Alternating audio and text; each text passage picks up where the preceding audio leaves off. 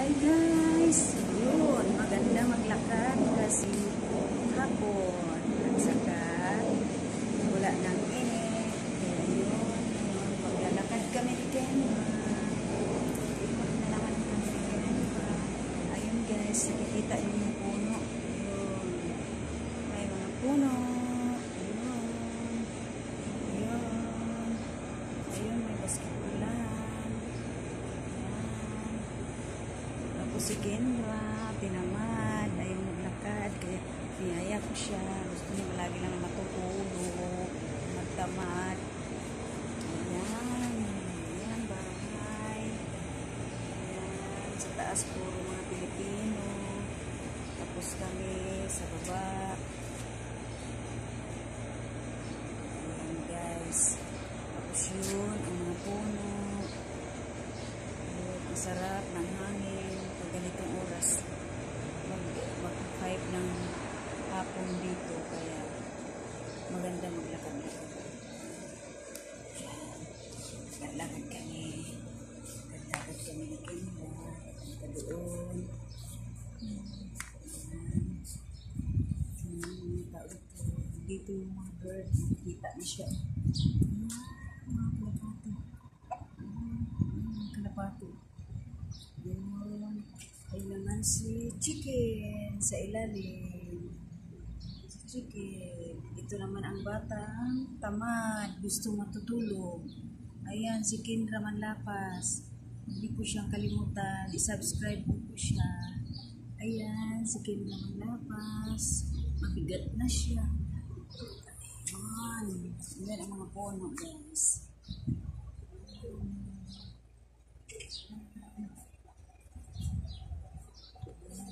Atras kami papunta doon yung yung tinutulog yung mga kalapati yun sa taas ng bahay ayun may kalapati. Yun sa taas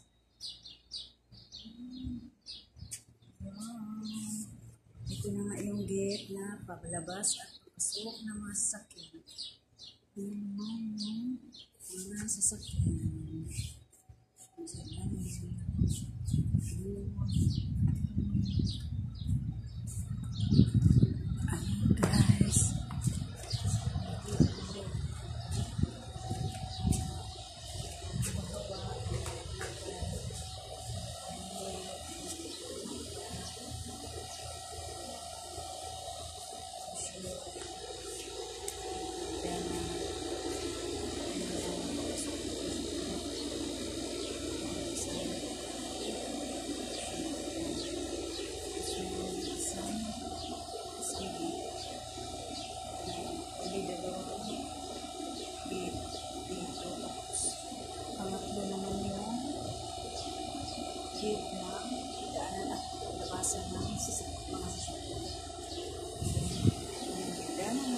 namin, masarap na namin pabalik ng pulis.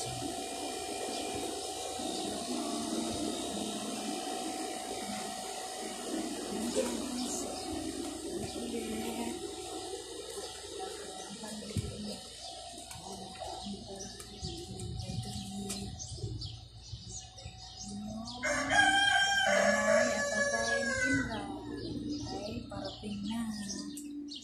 Ayan.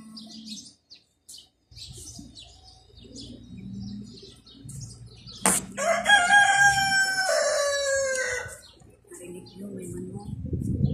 Lako siya. Ayun.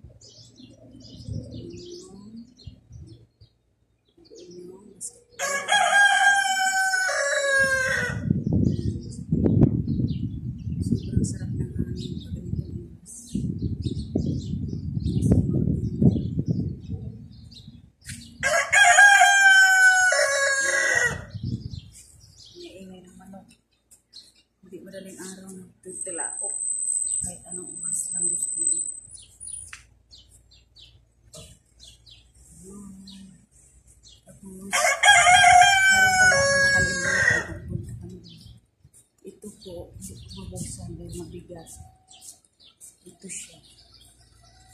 Yun ihawan niya. Ihaw dito pag Friday.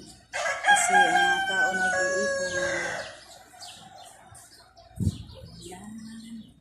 Ang ganda-ganda kami tingnan. Ang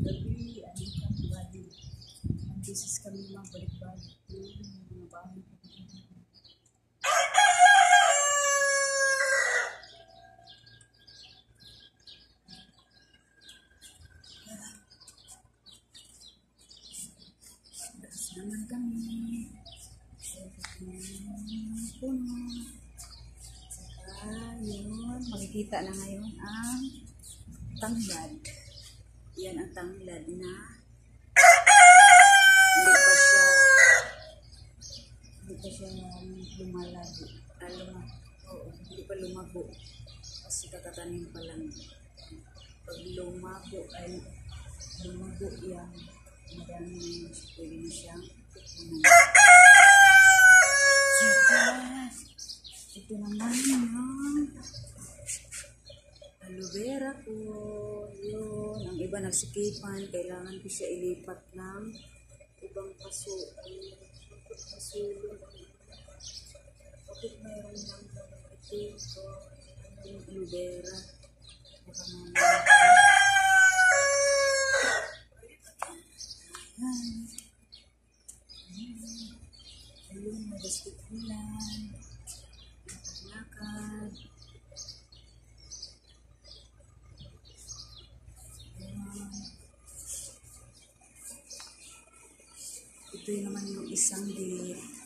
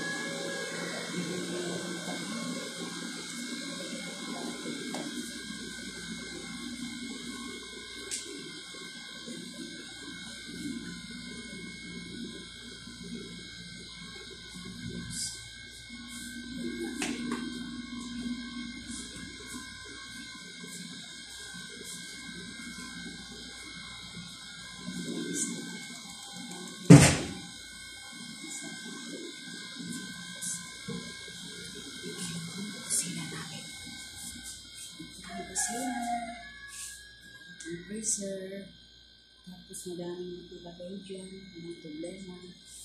Basta kailangan kami para sa lahat. Ang dami kasi ano, mga maraming kalan. OMG, ang bigat-bigat na ni Kendra. Parang di ko na kaya.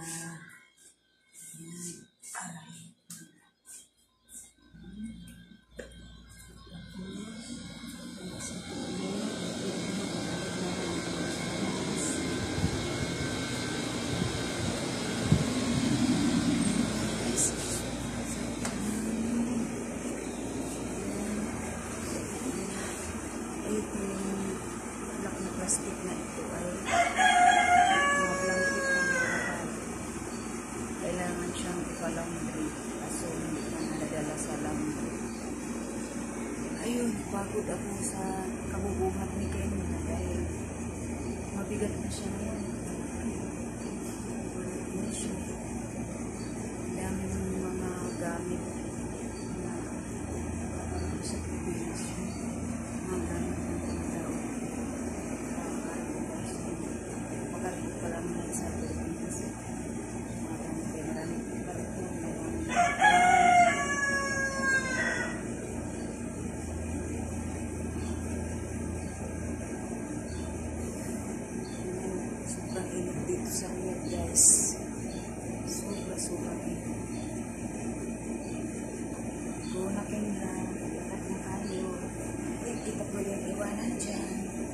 dahil tatalon ka, hila-hila ka, kanis, go siya.